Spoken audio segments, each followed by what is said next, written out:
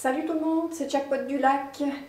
Alors voilà, une nouvelle, à partir du 27 avril, en Suisse, il va y avoir du progrès au niveau du déconfinement. On va pouvoir petit à petit recommencer à vivre normalement.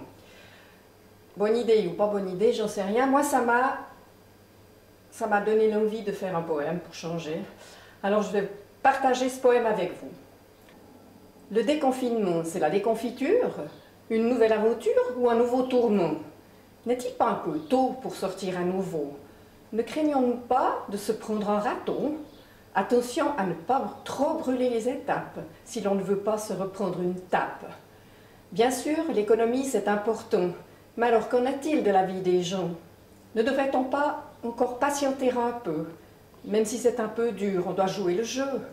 Pour quelques jours de plus, un avenir meilleur, une planète propre et du beau mon cœur. Et qu'enfin s'arrête cette pandémie, que l'on puisse retrouver amis et famille, et recommencer à vivre sereinement, sans rechute, avec respect et en réfléchissant à la raison du pourquoi, du comment, pour que nous repartions avec discernement.